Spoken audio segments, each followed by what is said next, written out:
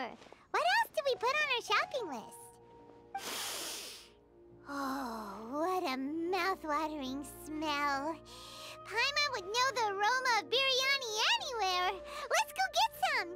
Uh, we can still add it to the list. Well, if it isn't the Traveler and Paimon. Wasn't expecting to see you here. Hello there. Oh, it's been quite a while. Ah, so you two are still hanging out together you were gonna head back to the desert? I said I was going to resign from being her bodyguard, not that our friendship was over. We're still the best of friends. The Homayanis also still post jobs from time to time. Their pay is always generous, so me and the other mercs never pass them up. I told Dehya to just stay at our place when she took one of those jobs a few days ago. My parents were delighted.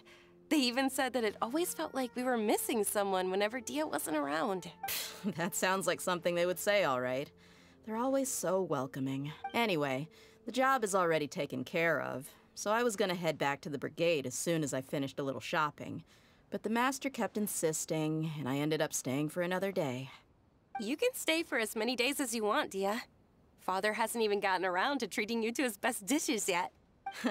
you know I'm not the kind of person to stay put in one place like that, my lady. Don't worry, though. There'll always be next time. But she said they'll treat you to the best dishes! Paimon can't believe you can still refuse that! but, but wait. Didn't you say last time that you would take me on a trip to the desert? Why don't you just take me with you today, when you leave? There are so many places I still haven't visited yet. I'm sorry, my lady, but no can do. There's still a few things I need to take care of back at the brigade. Besides, the desert hasn't exactly been the most peaceful place lately. Oh, come on. Not this again. That's also what you said last time and the time before that. I know, I'm sorry. Uh, just give me some more time, and I promise I'll plan the best trip ever for you. All right, fine. To be perfectly honest, it's not that I wanted to go, it's more like... I feel like something is off about you lately. Ever since you first set foot on the estate a few days ago, you've been acting anxious and even paranoid. Have you been delaying our trip because you've run into some kind of trouble? N nah, are you kidding? You're worrying too much. Would you swear on that? Friends shouldn't lie to each other, you know. I wouldn't pry any further if you're willing to swear on what you just said. But if something really is bothering you, then just tell me.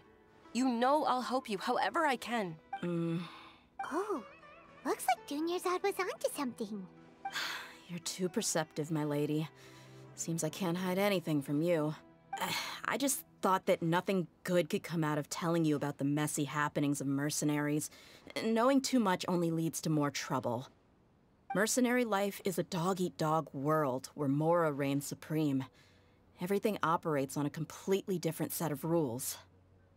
That doesn't change anything about what I just said, though. We're still friends, and I can only support you if I understand what's bothering you. My lady, you're not gonna stop until you drag it out of me, are ya? All right, I'll share what I know. Let's go somewhere else first. This isn't exactly the best place for a discussion. Okay, let's talk here. Just try not to draw any extra attention. As you may already know, the Eremites have both a lot of mercenaries and a complex organizational structure. Many mercs are no different than me, just going around looking for jobs to earn some mora. My brigade is called the Blazing Beasts. We're not a large group, but every member is loyal and brave. However, not all Eremite brigades are like mine. Some are willing to cross all kinds of lines for the sake of Mora. Deshret's relics? Judging from the name, they must really look up to... Yep, you got it. I've heard that you've already crossed paths with Ain al-Akmar. They're one of the groups under the Relic's banner. Oh, you mean the group that tried to sell us the Divine Knowledge Capsule? Yeah, they weren't friendly at all. Deshret's Relics is composed of many smaller brigades like Ain al-Akmar. The Relic's headquarters issues orders to all brigades under his control. On any other day, I would want nothing to do with them. Unfortunately, though, the brigade that's stirring up trouble now is none other than Dakan al-Akmar. Dakan? I think it means beard or something. Believe me, it's a really stupid name. I found it insufferable for years. Anyway, the real issue is that Dakana al-Ahmar is led by my father, Kusela. Say what now? I think I'm starting to understand your anxiety now. But what did they do? I won't go into details, my lady, but they've been involved in a lot of violent incidents. We're talking hundreds. Hundreds? Yep. The scenes tend to be quite gruesome, too. They strip the victims of all their valuables before murdering them. Not only had they targeted merchant caravans and ordinary citizens, but other mercenary brigades as well. That's beyond terrible. They won't even spare their own kind. I don't know how Deshret's relic sees it. If I don't do something about them, I just wish I knew what's driven him to do- Yeah, I don't know. that's setting the... b- I mean, if he was even remote, he was loud, and of course the other brig- Sounds like an... What about your mother? Unfortunately, Uh, oh, um, I'm sorry. it's all right, my lady. That's pretty common in mercenary circles. Didn't I mention that my father was chasing after women? I was the result of one of those encounters with some random person. He told me that he wasn't sure who my mother was. And in any case, she never came to see me. He'd say, You'll be fine as long as you remember to stick with Dad. But even then, he left most of the parenting to the brigade. The one thing I do remember is that he used to tell me stories. But the problem was that he had terrible taste. He only knew a few stories, and even those tended to be pretty stale. They were tales of desert warriors defeating dragons in the forest, or stories of mercenaries rescuing princesses from rebel armies. Sounds like your typical fairy tales. More or less, yeah.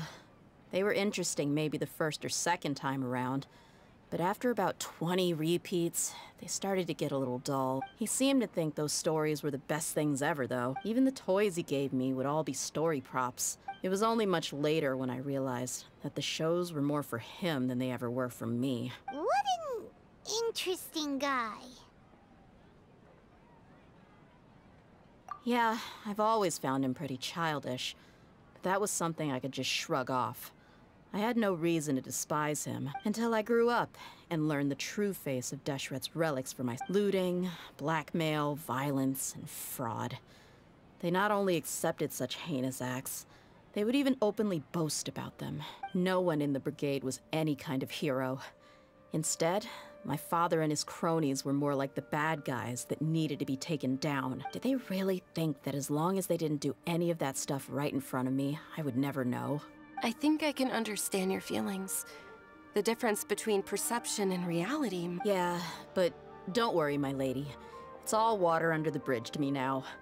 I had a huge argument with my father and left that place behind for good. I'm not investigating them due to any bitter feelings I still have towards my father. I just want to protect those that are close to me. Yeah, I told the boys to gather as much information as they could. Most of the reports concern violent incidents, but there's also some talk of smuggling. I see. Uh, but isn't this investigation incredibly dangerous? It is, but every mercenary lives life on the edge. It's a lifestyle that I enjoy. That may be true, but it'll be impossible for those who care about you not to worry. Well, now you get why I didn't want to share any of this with you. What should we do? They both have valid concerns. Huh? But there's no need for you to get caught up in this mess, too. Well, he's super tough, so if he went into the desert with you, then Paimon bets the problem will be solved in no time. Hmm. I'm inclined to agree. I'd feel a lot more at ease if you took him along to help. I'll wait for news from you in the city until then. Hmm. I'm honored that you care so much for me, my lady. All right, then let's get moving. Our first stop will be Caravan Ribat.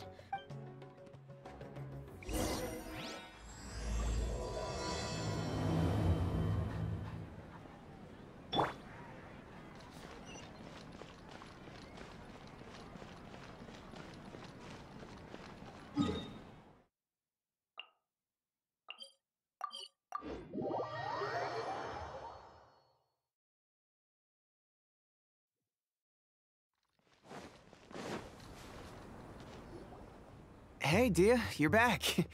Are these two friends of yours?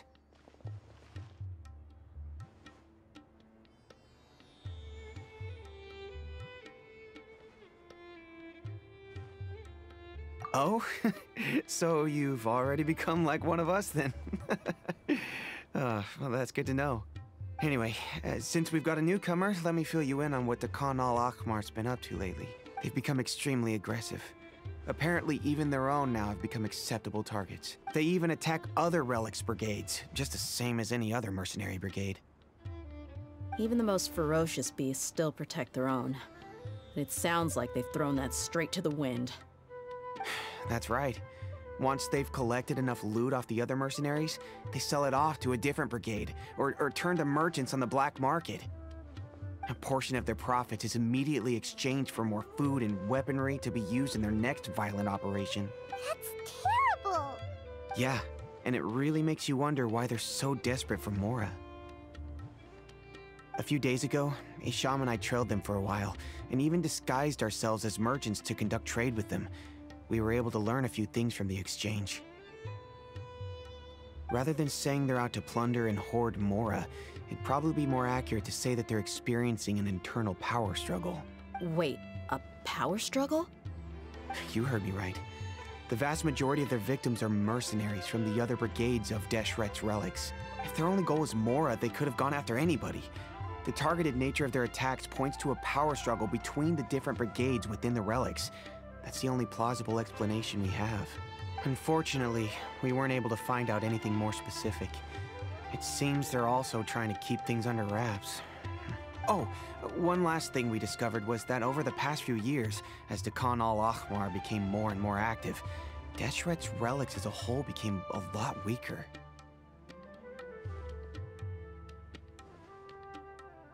Hmm, sounds mighty strange to me too. Harun, you can leave the rest of the investigation to us. Gotta say though, I didn't expect you to go on a whole undercover mission during the few days I was gone. Sounds like you were really putting your necks on the line, no? Nah, it was nothing. We're just as concerned about the situation as you are. The Khan al Ahmar is your father's crew after all. what he said. Besides, Dehya, haven't you done more dangerous things than all of us combined? What we did is nothing compared to your experience. Yeah. And while they went to talk with Dakan al Akmar, I took a look at the last camp they attacked. Any survivors of the attack were already long gone. There was nothing of value left in the camp. Ah, Hisham and Khalaf. You're here too.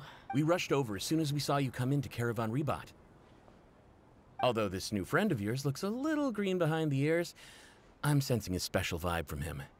Now that we know you'll have a capable partner with you, we can also rest easy. Hey, what about Paimon? Feel anything special? Oh, uh, you're also planning to tag along with them? Of course! Paimon is the traveler's most important guide. Wherever he goes, Paimon will follow. Oh. In that case, then you'd better take care of her too, Dehya. Don't underestimate Paimon! Don't worry about her. She may look tiny and helpless, but she's been through just as many battles as the Traveler here. Even if she had only survived on sheer luck, then that alone would still make her quite formidable. I had no idea. I guess I shouldn't judge by appearances. Oh, one other thing, Dehya. When you're free, why don't you update the deputy about your upcoming schedule? We held another recruitment event a few days ago, but everyone only came to see the Flame Mane. The deputy put a lot of effort into the event, but it was basically for nothing. Ah, sorry to hear that. I'll be sure to bring him some great liquor next time. Gotta admit, I can understand their disappointment, though. Now, if only the deputy could figure out a way to bring a few more smoking hot men. Keep dreaming. The awkward silence and weird expressions left quite the impression on him. hey, didn't we agree to never bring that up again? Huh? Wait, are you serious? Why have I never heard about this? I don't think you were part of the brigade yet. Are you kidding me? I missed a once in a lifetime moment like that and you weren't even gonna tell me? all right, all right. We can tell you about it later. Now, Hey, don't you try to change the subject. You and Hisham get your butts over here and tell me everything right now. Uh, are they always like this? More or less. There aren't many rules or graces when it comes to mercenaries. We're used to just speaking our minds. If someone starts getting under your skin, you just yell right back at them. And if that doesn't put an end to it, eh, then you just challenge them to a fight. But we also don't tend to take many things too seriously.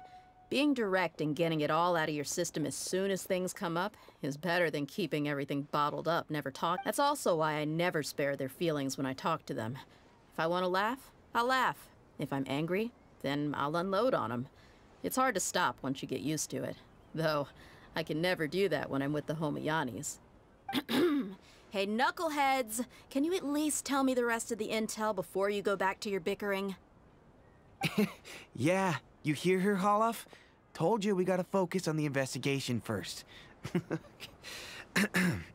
All you gotta do is wait and ambush them in the evening.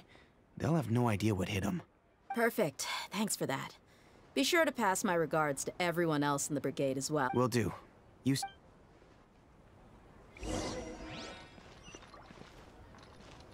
Now, like I said, the two ladies Dehya brought with her were also like super mercs. I'm talking same level as Flame Mane here. Oh, you should have seen it. The aura of the two of them when they were standing together, it, it was incredible. Oh, so pathetic. Hey!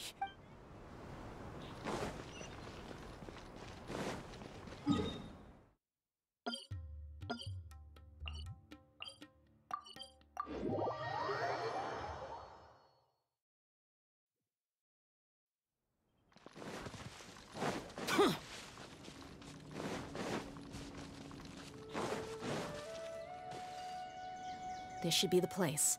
Let's find a spot to hide and bide our time. It's gonna come down to a fight one way or another. No need to worry. He knows his way around a fight. I'm not worried about that. What I meant is that we probably shouldn't go too hard on the enemy.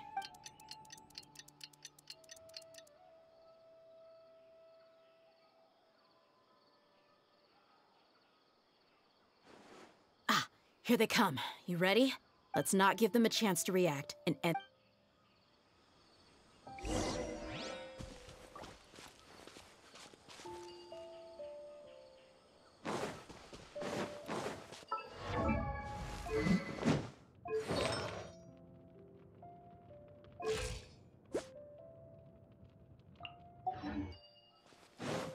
Let's get it on! Lucky today.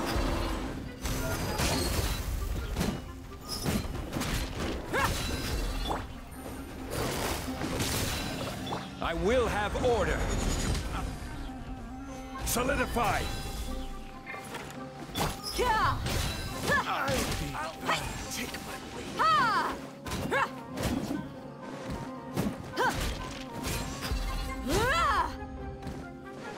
Take my! You want this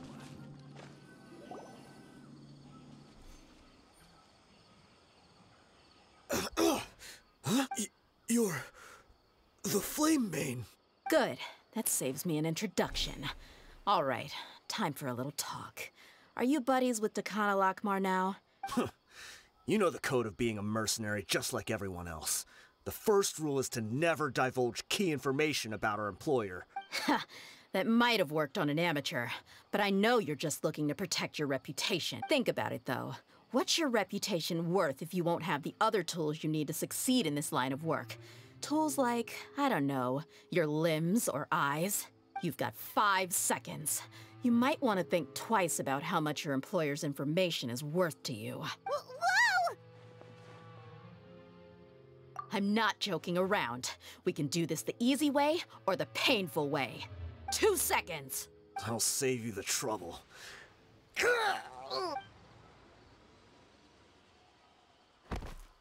Huh? Are you crazy? he tried to bite off his own tongue. Quick, search the area for any first aid supplies. I definitely didn't expect him to go that far. Thankfully, the wound wasn't too deep, and he just passed out from the pain. But why would he be so extreme? Uh, I just wanted to test his mettle. You can get a lot of mercenaries to talk just by threatening them. I didn't expect him to be willing to go through so much pain just to deny us some intel. Well, he's out cold for now. We could wait for him to wake up, but maybe it's not a good idea to interrogate him any further. Yeah, don't worry about it.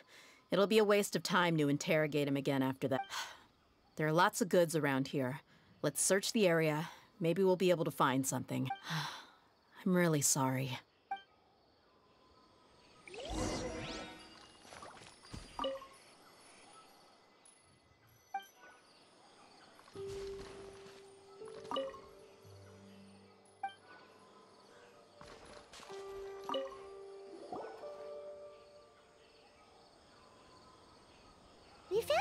Paper with a bunch of names on it. Maybe it's a record of something. Let me take a look. If this really is a merchant caravan, they should have a record of their transactions. Hmm, yep. I see an entry for Dakana Lakmar right here. Kusela, Idrisi, Bashar, and Takriti. All familiar names. Dakana Lakmar has been trading for a hefty supply of food, weapons, and medicine. It seems that in the past, they used to receive some canned knowledge as well. This caravan is just one link in their logistics chain. Once in the rainforest, the caravan will exchange the looted goods for Mora, and that person will then pack the caravan full of necessary goods. Wait, why is there no Mora value recorded for the final transaction? Hmm? No value? Yeah, every transaction before the last one was marked with an exact amount of Mora. But the final one, where they paid for everything to be brought back to the desert, hmm, perhaps. But they couldn't have known how much they would make off selling the loot. Do they not care about profit margins at all? Anyway, the next part's the records of the goods themselves. There are a lot of entries. Everything was probably sourced from the rainforest. Huh? What's wrong? Shazamon Homayani? Homoyani? You mean Dunyarzad's family? Uh, could, could it just be another family with the same last name? Hmm, I'd be surprised to find someone with the exact same first and last name. Shazamon Homayani is Dunyarzad's father, and the head of the Homayani family. Just what the heck is going on here? I'm sorry, you're right. I'll consider what we found and not jump to conclusions just. But what this piece of paper confirms is that the Homayani family has been providing goods to Dakana Lakmar. Trading with Dakan Akhmar? That's a possibility. But if that was the case, why is this caravan specifically named Shazaman as their person of contact? They could have just as easily bought goods such as food and medicine directly from Caravan Ribat or Port Ormos. Yeah, funding violence and looting. The brigade gets the goods, and he is paid the proceeds from the sale of the loot. Why would he do something like this? It's not like the Homayanis are in need of money. I honestly have no idea. I've been to their estate many times, and I've never noticed anything suspicious. The only potentially large expenditure I could think of would be the treatment cost for Dunyarzad's Eleazar. Maybe they borrowed a lot of Mora in the past?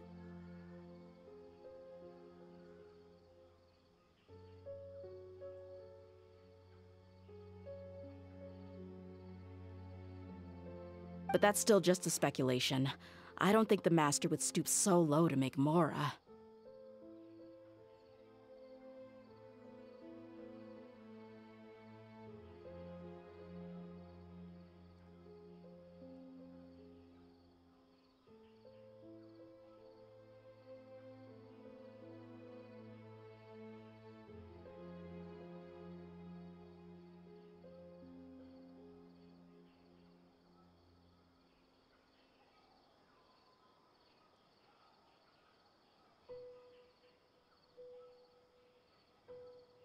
You're probably right. I know my lady's personality, and she wouldn't deliberately keep something like this from us. But what should we do now? All we found is just another mystery.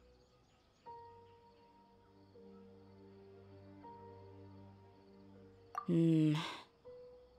If you ask me, we already have no choice but to confront her about this. I'm not worried. It's too early to make a verdict yet. Let's go find my lady again. We'll tell her everything and see if she's willing to lend us her support. If we're lucky, we can not only figure out the mystery of this paper, Uh, Dehya, are you sure this is the best decision. I've considered that possibility. But even still, I want to tell her what we found. She showed genuine concern for me when we first brought up the topic. That's not how I deal with people. You're right. Paimon wants to trust Dunyarzad too. Yeah. Let's pay another visit to Sumeru City.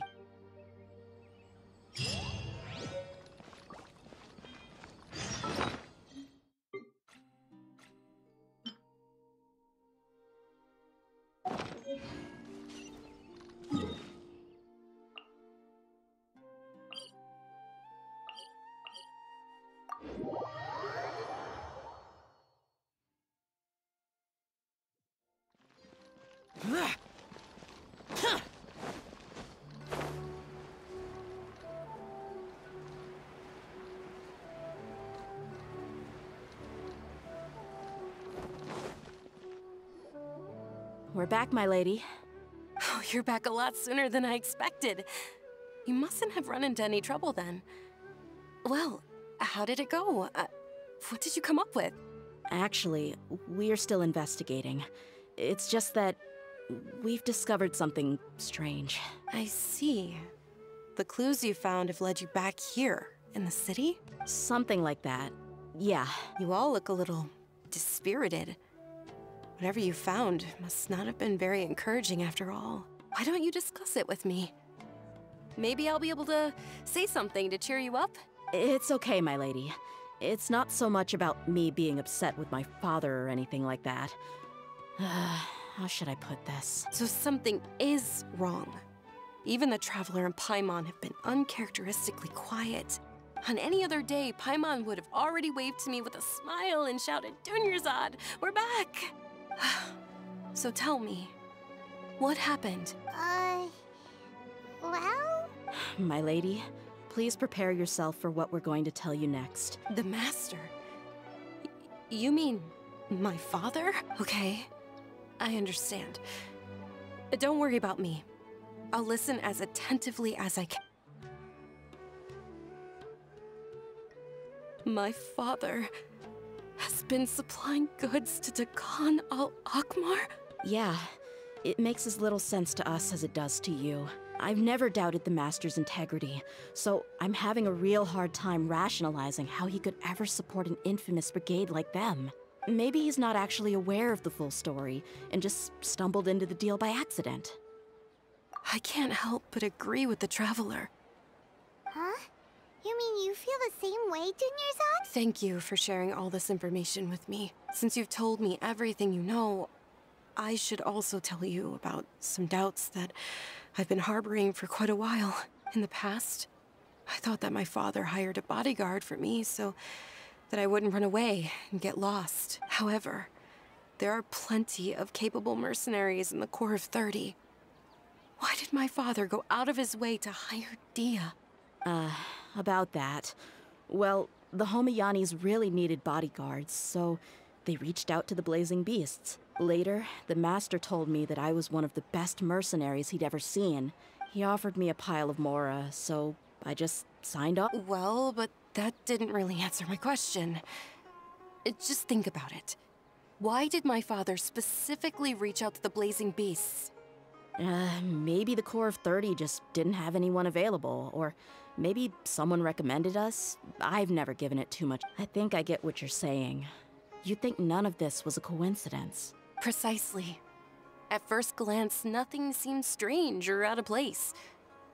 But there are many parts of the story that don't actually make any sense. If my father had always been in contact with the Khan al Akmar, then it would make sense for him to bring Dehya into our house. You mean the goal all along was to get Dehya to be your bodyguard? No, no, no, that's too much of a stretch.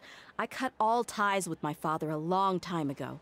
He has no control over my life anymore. But that still doesn't rule out the possibility that your father has still been trying to influence your life without you knowing. Hmm. So, the Master was not likely an innocent victim in all of this? Sorry we put all this on you so suddenly, Dunyarzad. It's okay, Paimon. I should actually be thanking you.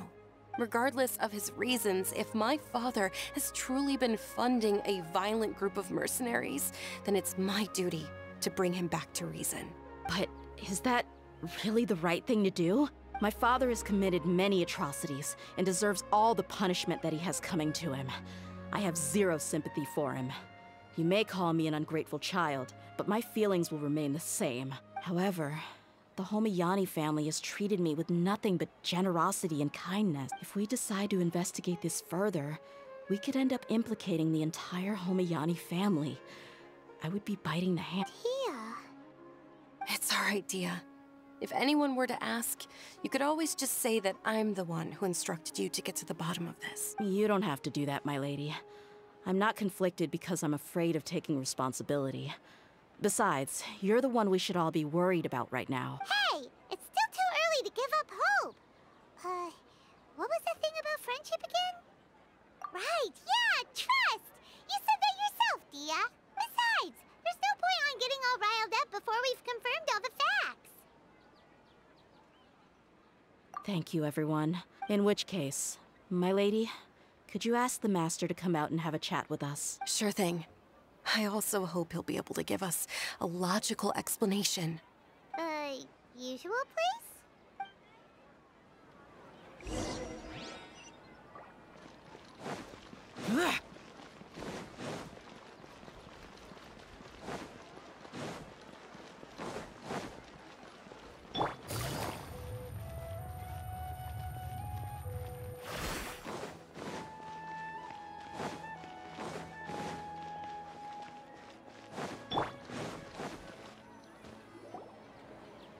Thank you for coming, sir. Please allow me to introduce these two. This is the Traveler, and next to him is his travel companion, Paimon. Ah, yes, my daughter has mentioned them from time to time.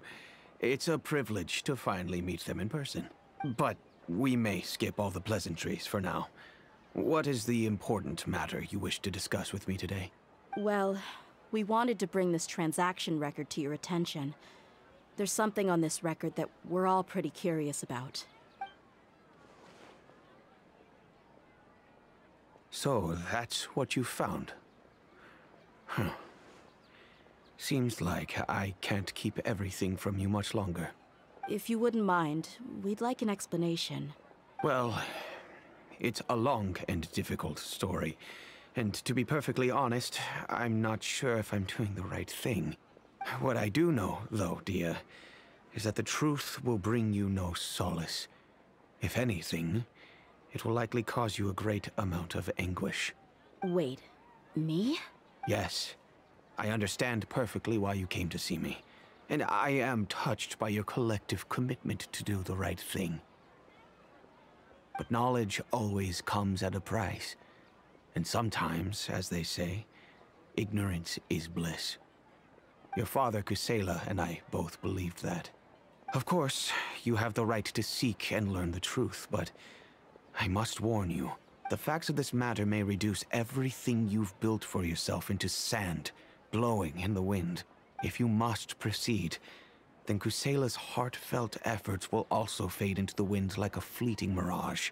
His heartfelt efforts. I, I'm sorry, sir, but I'm not sure I follow. I've made it this far in life without a single drop of my father's support. I, I have my own ideals and ways of looking at the world, as well as people and causes that I've chosen to cherish and fight for. None of these things have anything to do with him. I came here today to support you as the head of the Homayani family. No warning will change my stance on that. I understand. Then let me tell you a little story. Our family once needed to take a trip to the desert when Dunyarzad was just a baby. Along the way, we were attacked by bandits. They had superior numbers and quickly overpowered our bodyguards. When all seemed lost, a group of passerby Eremites lent us their support. Those Eremites were Kusela's brigade, Dekhan al-Ahmar.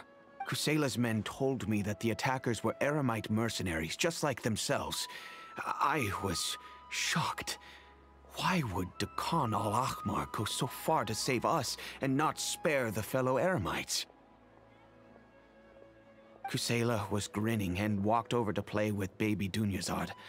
She was startled by his unfamiliar face and nearly started crying. Really? I... I never knew. He said that he had no particular reason to help us. He just took pity on us because he had a daughter about the same age. We started talking about our children, and I sensed that he was a devoted father. To repay his kindness, I hired his brigade to help out at our estate for a time and offered everyone generous remuneration. So, that's what happened. Hmm. It was many years before I saw him again. I almost didn't recognize him the next time he came knocking on my door. The man I knew to be strong and healthy had been reduced to a, a shell of a himself. He couldn't even walk anymore without his cane. So, what happened to him? He was perfectly fine when I left the brigade. I'm not too sure myself. The only thing that didn't change was his cheery disposition. He said there was absolutely nothing to worry about and that he had gotten into a fight. That was all. He then suddenly asked me if Dunyarzad, now that she had grown, would need a bodyguard of her own. At the time, Dunyarzad was going through a particularly severe bout of her Eleazar. There was no need for her to have a bodyguard when she could barely leave the house. But he kept coming back to the topic. Come on, it, it never hurts to be safe. How do you know a bodyguard won't come in handy one day? I was completely lost at first, until he recommended the Blazing Beasts, and in particular, a mercenary named Dehya. So he was the one who recommended Dehya to you. Indeed. He didn't say it out loud, but it was clear that he saw Deshret's relics as an evil group who would eventually corrupt every member in their ranks. He was already beyond redemption, but he hoped that he would be able to detach his daughter from the vicious world of mercenary life. If Dehya could stay in my house and keep working as a bodyguard, then gradually her affinity for the desert would decrease, and she'd be able to leave her previous life behind. And that's why you offered her such generous compensation? Yes, but not just because of that. From the moment that he asked me for that favor, I also began to see Dehya as my own daughter. And that's also why I tried to persuade you to stay when you asked for permission to leave. I was willing to spend however much it took. Kusela saved my daughter and I all those years ago in the desert. I could never refuse him entrusting his daughter to me. he was always like that, acting like he's oh so smart and self righteous. Kusela said that he'd reimburse me for a portion of Dehya's fees. I refused to take any Mora from him, but he'd always sent me funds anyway. Eventually, I just accepted them as a token of his gratitude. And that went on for a while until I received another letter from him a few years ago. The letter contained a request to help him buy food, weapons, medicine, and even explosive materials. Wait! Isn't that around the time that Dakan al Akbar started becoming more aggressive? That's right. When I started to hear some nasty rumors, I became wary. I wanted to meet him face to face to discuss things, but by then, he was no longer receptive to my requests to talk. If I had to guess, it's probably because he doesn't want to put Dehya at risk.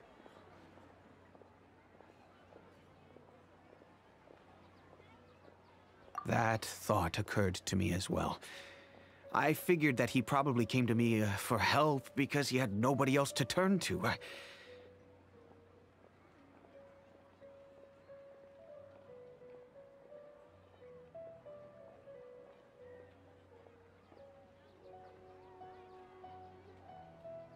After some deliberation, I decided to send him some food and medicine.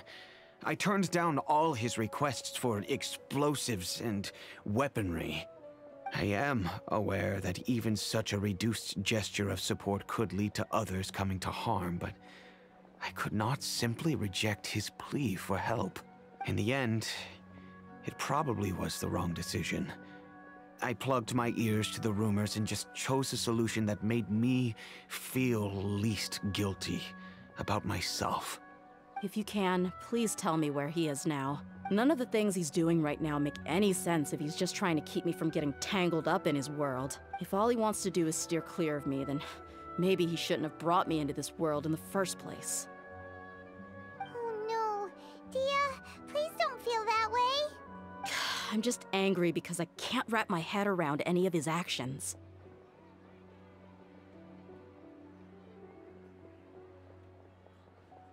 I don't know. I, I really don't know. I don't think I can do it. But I guess you do have a point. We haven't uncovered the whole truth yet. We still need to figure out his exact actions and reasoning for these last few years. I'll do my best to help. Of course, anything between the two of you would need to be resolved between you and him alone. I don't know Kusela's exact whereabouts. Outside of supplying his brigade with some goods, I, I tried my best to avoid getting involved any further with him. However, there's a man on the list named Jawed. He used to be a mercenary in the desert and is now a member of the Corps of 30. He's responsible for supplying weapons and liaising with the Dakan al Akmar's merchant caravan. I think he should know Kusela's whereabouts. I've heard that he likes to have a few drinks alone and enjoy the cool wind at night outside the tavern. Maybe you'll be able to find him there. Understood. Thank you, sir. Then I guess this is bye for now, unless. I'll stay and be with my father here. To be honest, I'm still a little dazed and haven't finished processing everything quite yet. My father has indeed done something wrong, but if I think about it, I'm also not sure if there was a right way to handle this problem. I feel like our only course of action is to turn everything we know over to the Corps of 30 and let them render judgment. Yes.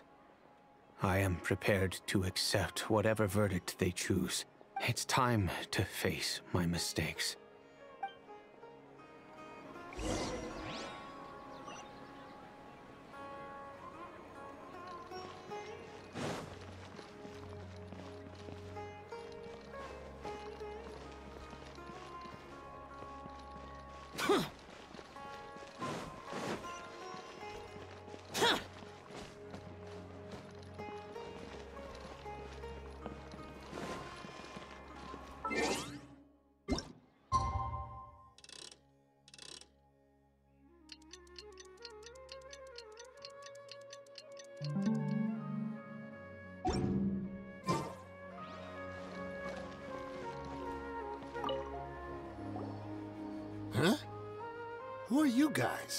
I know what you've been up to.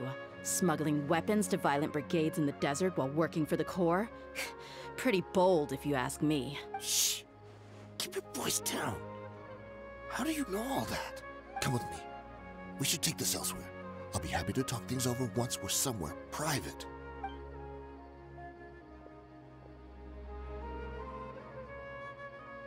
This place should do. All right. Back to my question. How did you all know about me? Don't worry about that for now. You know what kind of punishment you'll face once we report you to the Corps, I assume. Wait, wait, wait. There's no need to jump the gun. Let's talk this out. What are your terms? So what's in it for you anyway, Mora? Uh, well, I was a little tight on money at the time, and Kusela took good care of me in the past. I waited in my mind, and I couldn't find a reason to turn the opportunity down. I wouldn't only be helping my benefactor, but I could also make some quick mora. Let me tell you how it is. We're investigating Dakana al Akmar, and we're gonna put an end to their operations. If you provide some help for us, then we might just put in a good word later to reduce the terms of your punishment. Hey, why don't we discuss this a little first? Listen, I made quite a bit of mora from my last run. You just give me a number, and I'm sure we can. Shut it. My patience is running out. You should know when a mercenary is after something other than money. All right, all right, sheesh. But you gotta promise you'll put in some nice words for me later. They're always on the move. Here's the spot they were at the last time I made my delivery to the desert. Feel free to go have a look. I'm just telling you though, it's not on me if they're not there anymore. Sure. And then you can forget about any nice words from us. Hey, come on. Now you're just being unreasonable. Really? And how do I know you're not leading us straight into a trap? Don't forget, you're the one with no bargaining chips. All right, I get it, I get it. Why don't you go take a look, and if they're not there anymore, I'll try to figure out something else for y'all. now that's more like it. Let's move. And as for you, try to stick around the city until we get back. You don't want us to call the folks from the Corps and have them drag you back to the city. Uh, don't worry. I'm not going anywhere.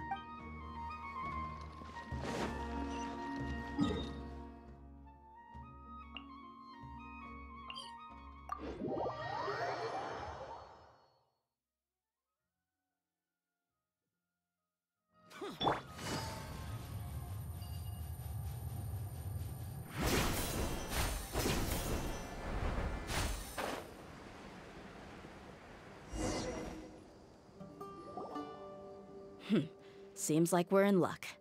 That should be their camp right up ahead. Let's go. We'll finally get to the bottom of this ourselves.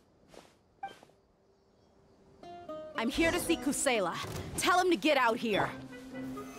Uh, Dehya, why are you here?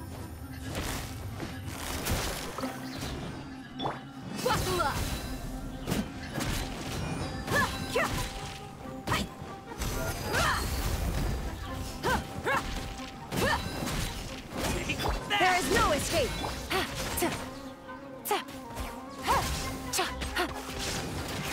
Take it easy. Look alive! I'll take my leave.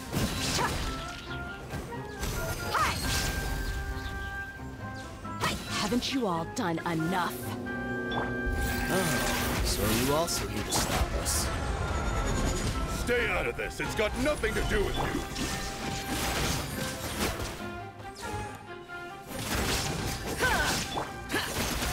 Boring. Ah, she, she's so strong.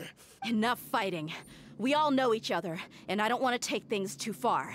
Just bring Kusela to me. There's no use hiding him anymore. Did you understand a single word I just said? Or do I need to bash your skull in some more? All right, everyone, let's all just calm down for a second.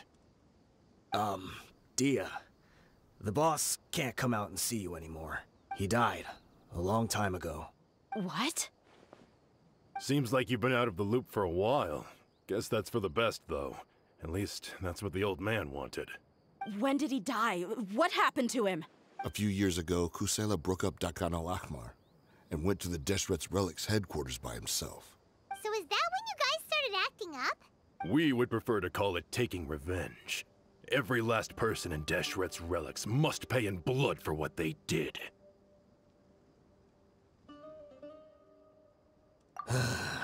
Let me start from the beginning. Dehya, do you know how the head of the relics maintained order internally? Overwhelming strength and unquestionable authority? Those were a part of it, yes.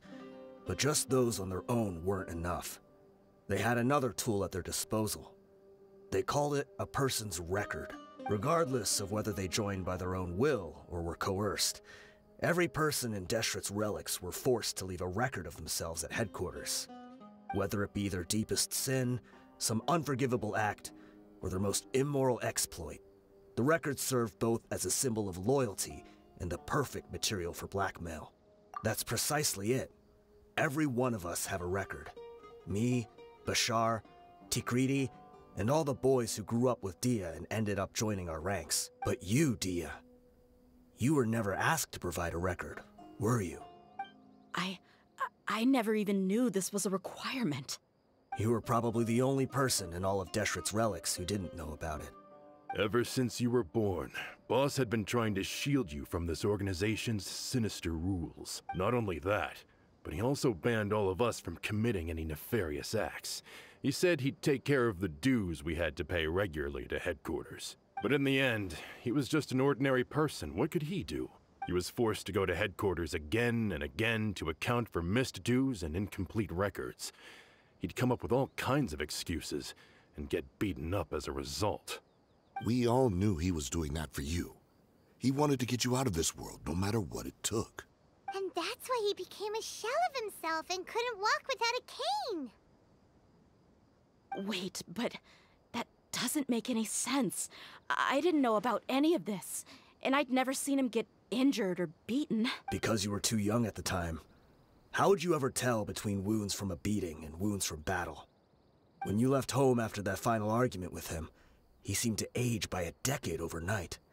Even his hair went gray. So, even the Blazing Beasts were. Yep. It was all his doing. Had he not arranged them to come to you, you probably would have been reduced to a pulp before you ever left the desert. A few years ago, Boss said he needed to make another trip to headquarters. He was already pretty weak then, and we all assumed he was going to get beaten again.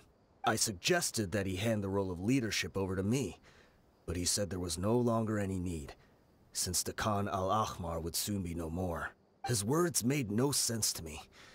But that night, we heard that a massive fire tore through headquarters and razed everyone's records to ash. Everyone gained their freedom that night. Many members fled, not just from our ranks, but from the other brigades as well. But how could we leave with a clear conscience? All of us who knew exactly what had happened.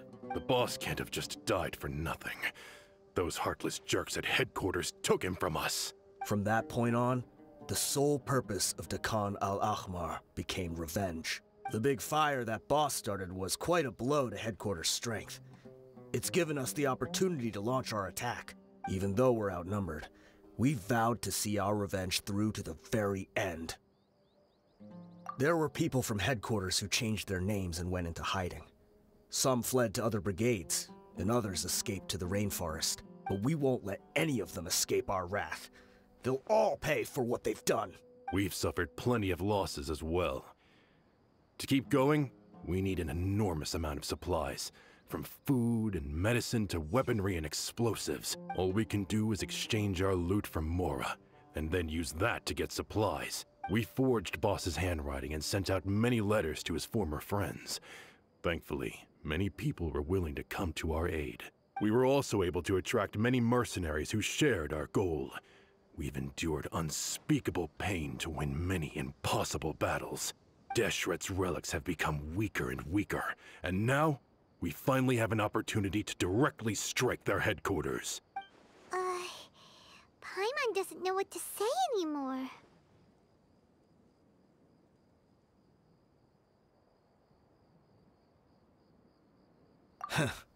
We do know right from wrong, but we were sinners from the very beginning. We do not deserve the freedom that the boss won for us with his life. Boss always loved his old-fashioned hero stories. Those tales about sacrificing yourself to save the world. We used to always laugh at him for it. But in the end, he really went and lived those stories out himself. As for me, I never considered myself a hero.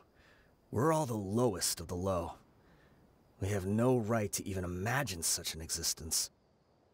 But maybe those hero stories he liked foreshadowed everything that was to come.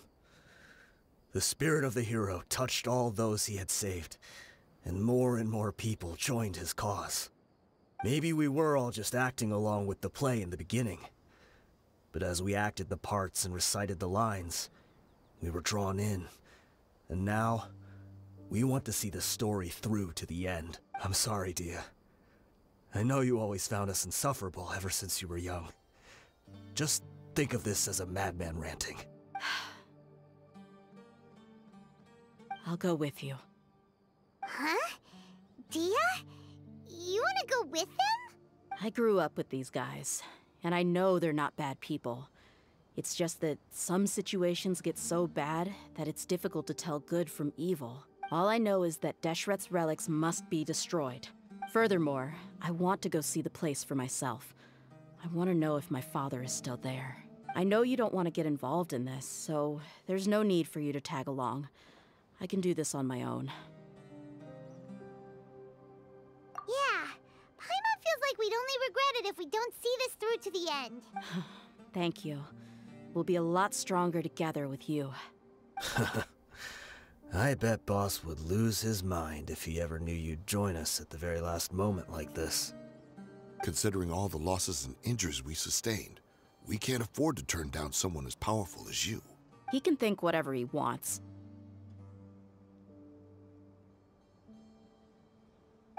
But the fact is, I owe him this much.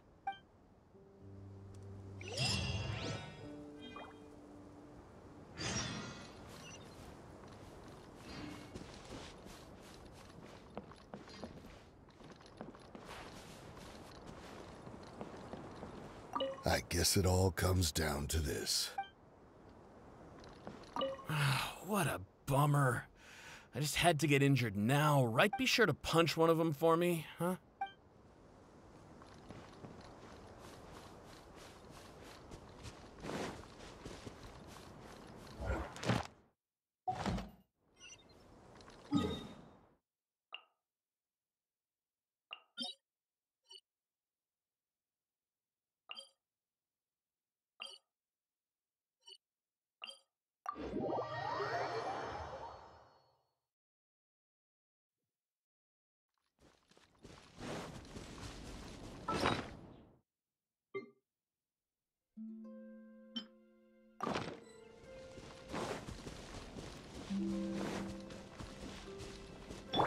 Crumble!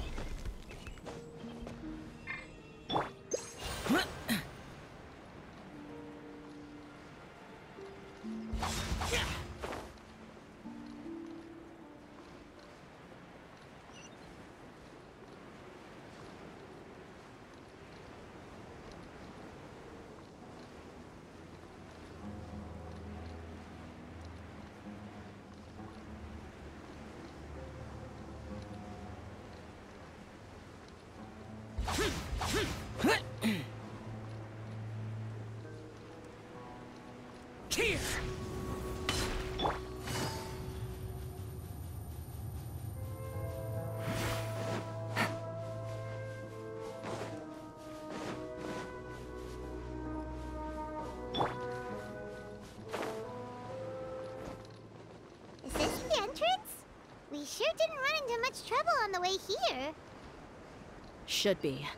I don't think they have enough manpower left to post guards and defend their perimeters.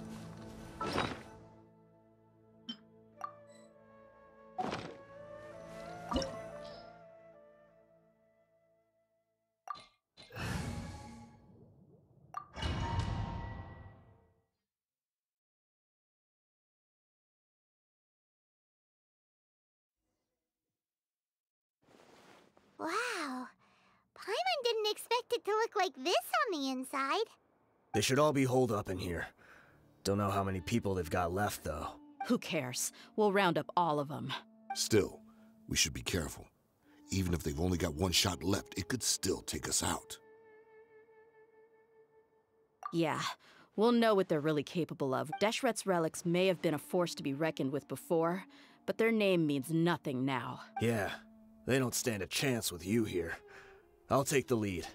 I've been here once before.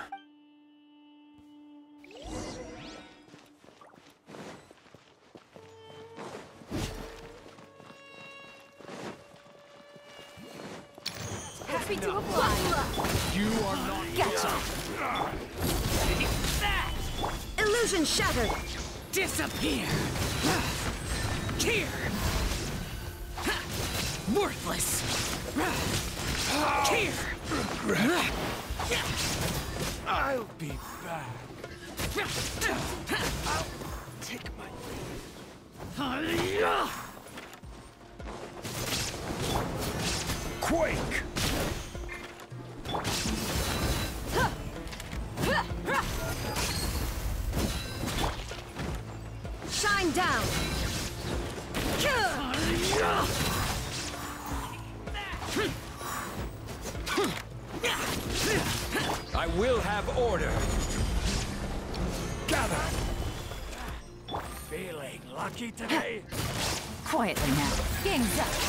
Silver. Let's get it on. Ha! You're dead meat.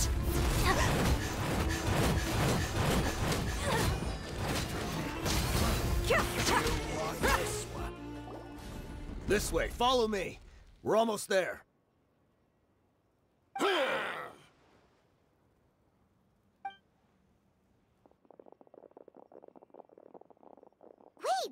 They went charging ahead without checking for any traps! Hey, you guys okay? It seems like we just got trapped in here. Don't think we triggered anything else. Watch out, the enemy's coming from ahead. Well, now that things have come to this, seems we'll have to fight our way through. Don't worry about us. We knew something like this could happen. Go and take a look around. There could still be another way through. Let's go! We can't let the boss down! Let's check if there's another way! The sooner we can make it through to help them, the better. Let's see.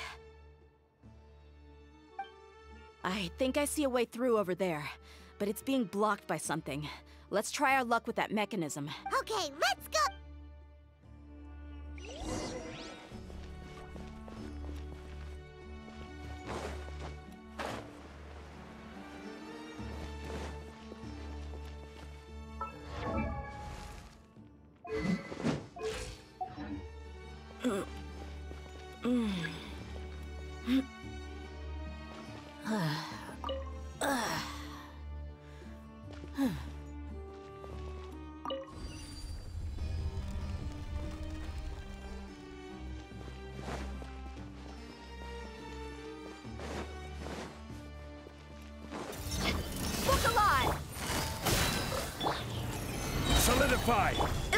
Shattered!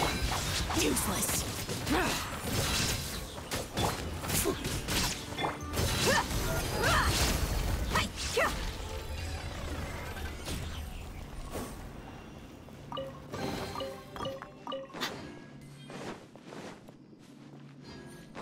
Another mechanism like the one before, but this one's being blocked off in the middle. We just need to adjust it a little.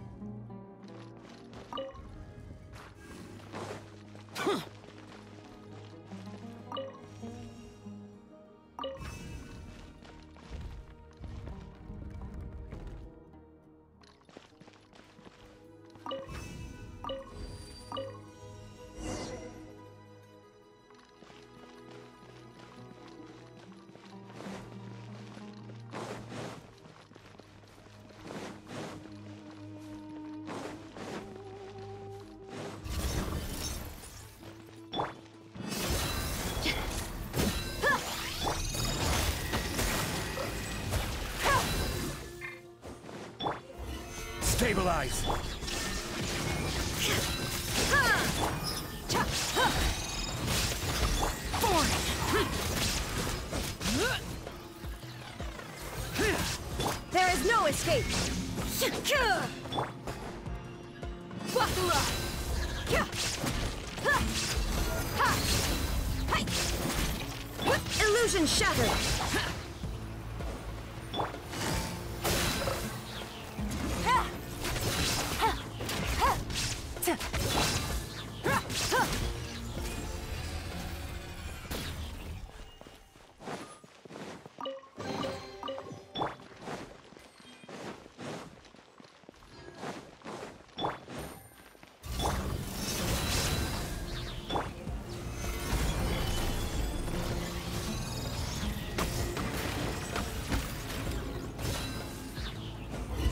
Order!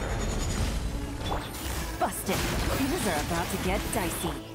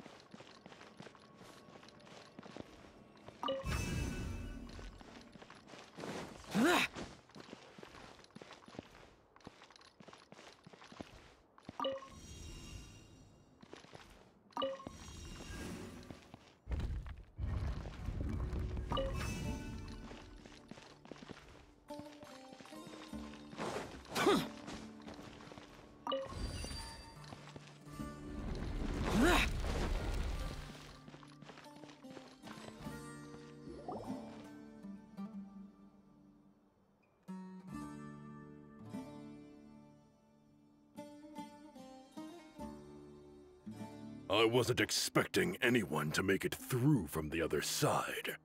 But as a desert dweller, I suppose we should be used to our folks defying all expectations. Don't waste your breath. You have nowhere to run. Run. Had I wanted to run, I would have fled a thousand times already. I witnessed the golden age of Deshret's relics. Even if I could leave this place behind, all that awaits me now are endless days of humiliation and ruin. Even now, my brothers and I still believe in one thing. The greatest should never live to remember their fall. Hm. So you want to go out in a blaze of glory? Let us draw our weapons! We will show them the true power King Deshret bestowed upon his followers. They are but two, while we hold within ourselves the entirety of the relic's glory. Wave one, charge! Eliminate them! Let's get it on!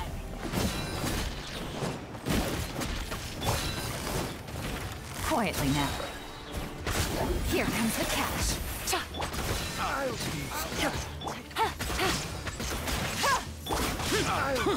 Don't think that you've won. We're just getting started.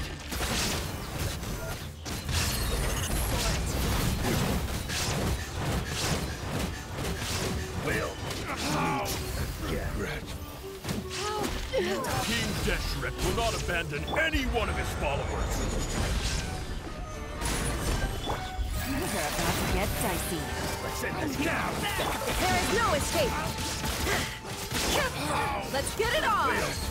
Meet again. Brothers! This is where we prove our faith. You all just want to die? None of us plan to leave this place alive!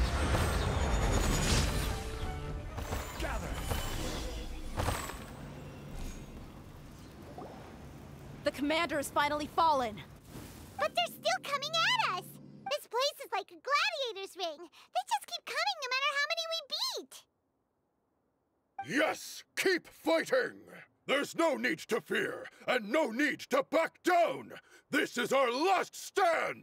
When the next wave comes, try to draw away their attacks. I'm going to see if I can take out that high platform.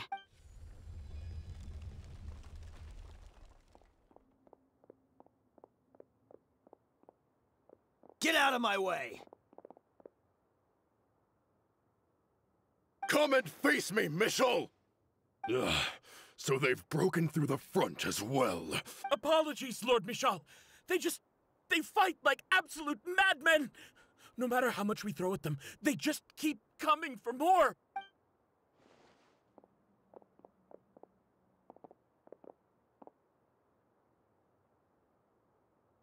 Ah! So, it would seem like this is the end. Time to pay for everything you've done, Mishal. You think I would give you that opportunity? I will be buried in the sand alongside all the rest of our fading glory. Hey, wait!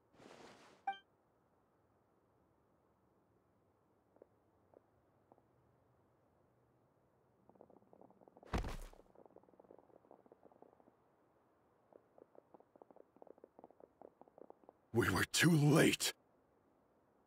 It's over. There's no more need to fight. But if you're still going to cling on to your so-called mercenary's pride, then I'll give you all a good beating as well.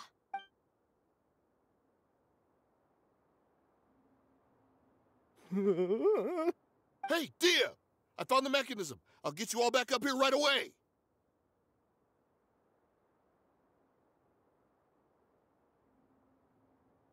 Let's go.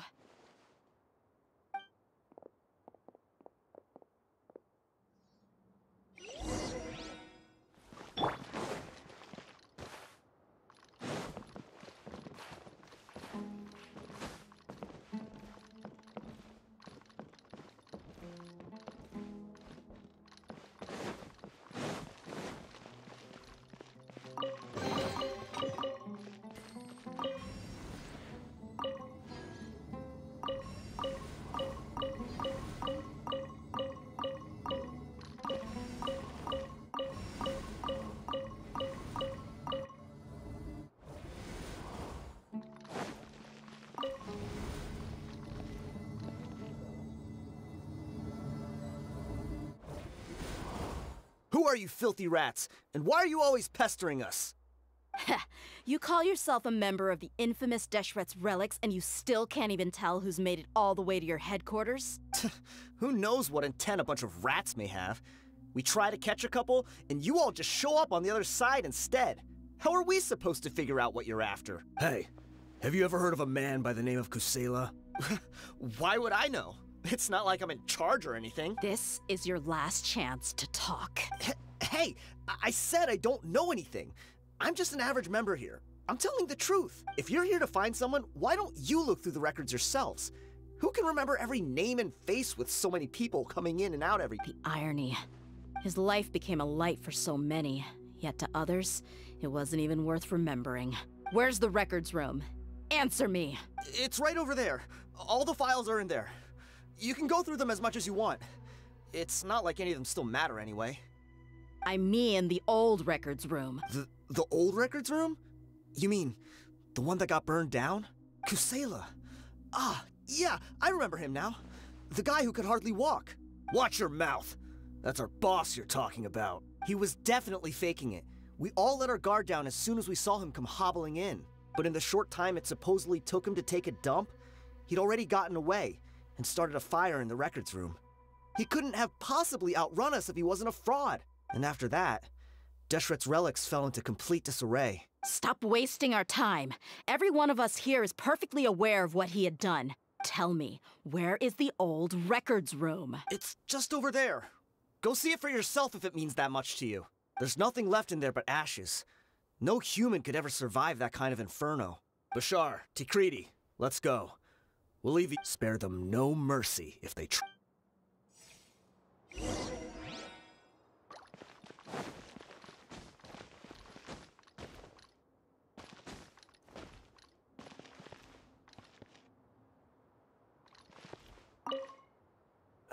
I've already told you everything I know.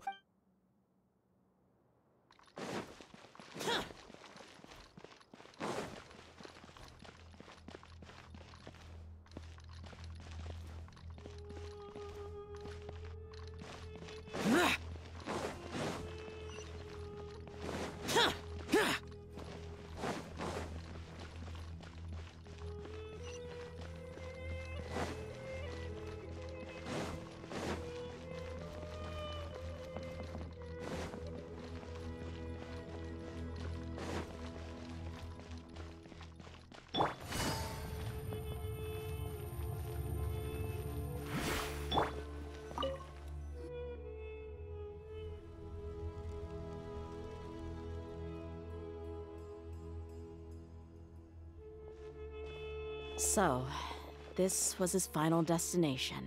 How did he do it? Getting past all the guards with a limp and sneaking in here to start a fire? If he was nimble enough to do that, then he must have been able to get out of here after starting the fire, right?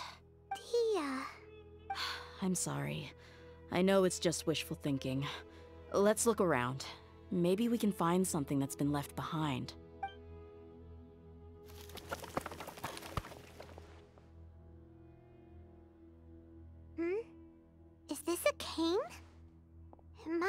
One that Dehya's father used. Kusela. Thanks for everything, boss. We're fortunate to somehow find that cane after that fire. Let's split up and look around some more. What if something else has been left behind?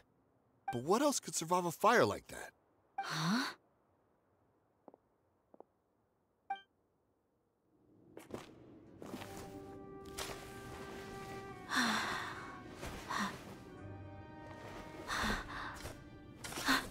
Hmm?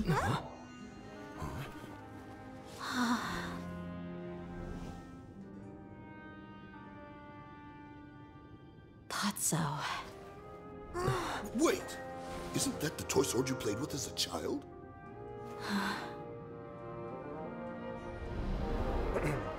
The dragon is no more, for Princess Dehya has slain it. Its head now hangs above the city gates. Her bravery has brought eternal peace and prosperity to us all. Dehya, come on. This is the most important line. Um, um, you can do it. But Dehya, you defeated the dragon. Everyone's waiting for your speech. Still too shy, huh? All right, I'll do it. I hereby proclaim our victory. Evil shall plague us no more.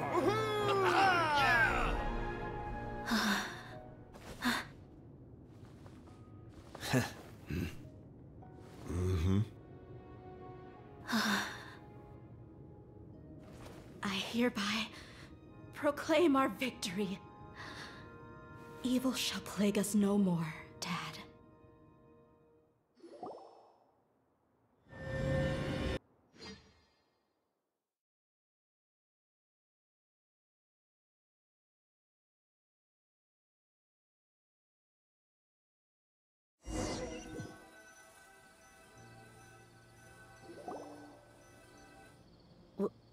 What's this?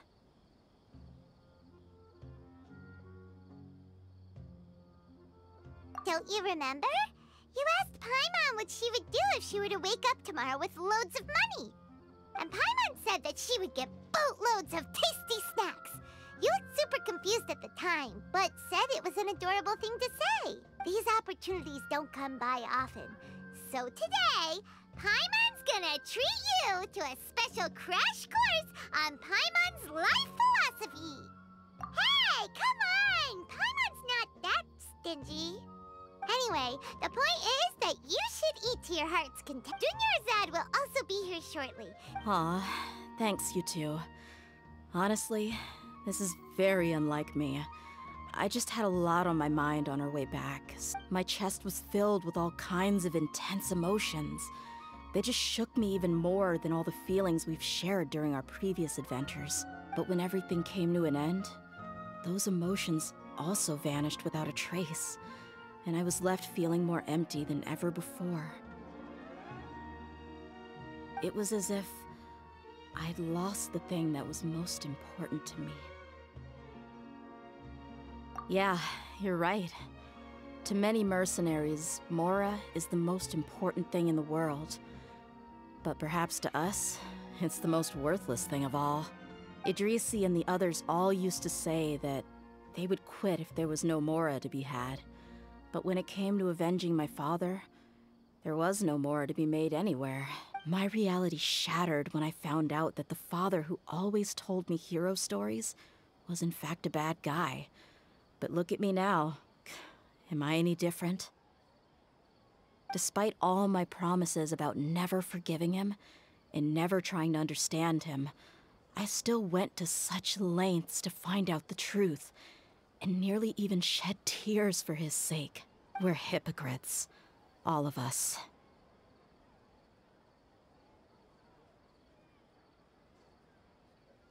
Yeah, you're right. It's just a pity that we often only recognize our true feelings after it's already too late. You're back! Are all of you alright? Ah, there she is! Yeah. Many people from the Huh? Dehya, you're looking quite down again. Paimon will explain. A lot happened while we were gone. I'm sorry. I really should have controlled my emotions better. I, I just... I just... It's all right, my lady. You were hurt by all of this as well. Truth be told, I'm starting to feel a little guilty watching you cry like this. Dehya, you're being... Hey, don't worry about me. If anything, this whole thing has finally shown me the difference between illusion and reality. My father probably thought that people could settle into new lives as long as they moved to a new environment. That thought has even crossed my mind a few times. It's like saying, what's wrong with adapting to a new life? However, there was always something deep within my mind that refused to accept it. This impulse brought me great turmoil, and even made me feel ashamed for turning my back on your father's kindness. But now that I consider it again, it all makes sense. The desert sands are a part of who I am, and I will never be able to lead a peaceful existence. I understand how you feel. That doesn't mean I won't be making any changes to my life, though. As an example, I'm now thinking about taking on some small odd jobs. It's just like Idrisi said. I also want to catch up to my father and become a character in his play. Even if the ending of the story may be childish and ridiculous, it won't really matter. Isn't that neat, though? Oh, you'll be a whole new kind of mercenary, one that's not out for Mora. Why don't we go for a change of scenery once we finish eating? Right. You said you wanted to get a rug for your family. We'll come along too. I can't thank you enough for taking care of me this entire time.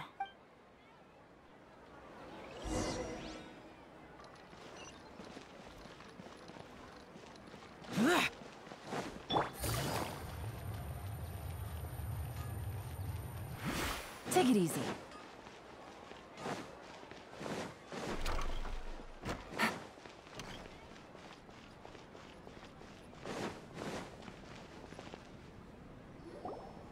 Oh, this rug here is quite something. The craftsmanship is exquisite, and the fabric is also of high quality. Ah, here you are. Finally, I found you. Hey! Uh, aren't you that mercenary who bit his tongue? You can still talk? Wait, are you here to take revenge on us? what are you talking about? Do I look like I could take you all in a fight? I just came here to give you something. I'll be on my way to give myself up to the Corps after this. Once I woke up, I hurried to the Khan al Ahmar's camp, hoping to alert them to your presence. But when I got there, I found no one except the members who were still too injured to move. Ah, so you probably got there after us. Yeah, they told me that they had exacted their revenge, and everyone had turned themselves in to the authorities. Even that last camp was not going to last for much longer. I had joined the cause to repay an old favor from Kusela. Now that everyone's already turned themselves in, I might as well do the same. One of the injured members gave this box to me, and told me that it contained some of the old man's last possessions. Everything left in the camp will get confiscated, so I figured I should get this to you before the Corps could get their hands on it. Thank you. No worries. We are all just living our own truths. There's no need to comment or judge anyone for it. So this box contains everything that Dehya's father left behind. Huh. It feels lighter than expected. Well, back in the day, the first thing he did with any Mora was spend it on things like drinks and meat. But let's see what's inside. Wh what's this? it's just a bunch of junk. It Ugh, it kinda stinks. Uh, perhaps it's just been left unopened for too long. Hmm. A handwritten copy of a storybook. The paper's already yellowed, and it looks like it's about to fall apart. It was against the Academia's rules to possess books for personal use. if he was going to break that rule, he could have at least copied something useful. That probably means this was really important to him. Ah, and here are a few bags of children's snacks. The packaging's completely deteriorated. Maybe that's where the smell was coming from. Did he get those for you? Yeah, but here's the thing, though. Even when I was a child, I was never a fan of these kinds of snacks. He'd always say that he got them for me, but in the end, he always ate more than I ever did. Who even leaves snacks in a box like this anyway? Isn't that just common sense? Forget it. Let me see what else is in here. Mm, a razor, some buttons, some round iron tiles, a wooden toy puppet, a wool scarf, which from the looks of it probably belonged to a woman, and a hair clip? Uh, why are these things here? Uh, I, I, I'm uh, suddenly feeling a little scared. I'm sorry, my lady, but this is just the kind of man he was. He probably saw this box as some kind of personal trash heap and dumped any and everything in there. One, no, two empty liquor bottles. Tell me, you guys, are these the kinds of things that a normal person would leave behind? Huh? There's something in the bottle! Oh, you're right. All right, I got it out. It seems to be a piece of paper with some writing on it. The bottom part's all damaged from moisture, though. Let's hope the writing didn't smudge. I was suddenly seized with an urge to write a letter after finishing this bottle. I just folded it up and left it in the bottle, though. If I end up forgetting about it, it won't really matter. To Dehya. It's a letter for me? It's all right. I'll just read it out. If he went to the trouble of writing a letter, there must have been some important things that he wanted to say. Or at least record down. My condition's becoming worse and worse. Can't even walk without a cane anymore, much less go out and have fun. Guess I don't have many days left. If you're reading this letter, then I suppose I'm already long gone.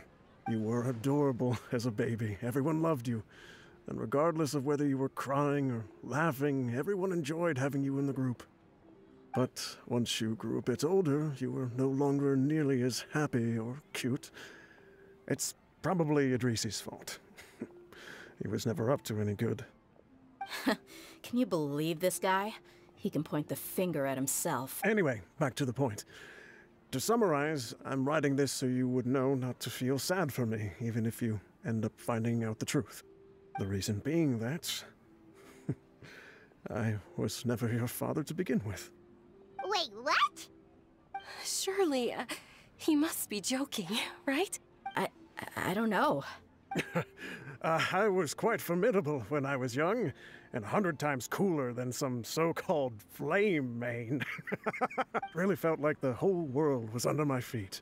With just a teeny tiny bit of effort, I felt I could rule over the entire desert. But as fate would have it, I went out into the desert for a drink one day and discovered a baby in the sands. It was you. You were just lying there, small and helpless, you were so tiny that if the wind blew for just a little while longer, you would have been buried forever. But your cries were so loud they made my head hurt. now that I think of it, you really were a bundle of energy. Uh, sounds like he's serious. I told Idrisi and the others that I had slipped up with a woman while out and about. None of them even doubted me. I'm sorry that I had to lie to them for so long, but I really had no other choice. I was their most esteemed leader, after all. It's not like I could just tell them that I suddenly wanted to play at being a father.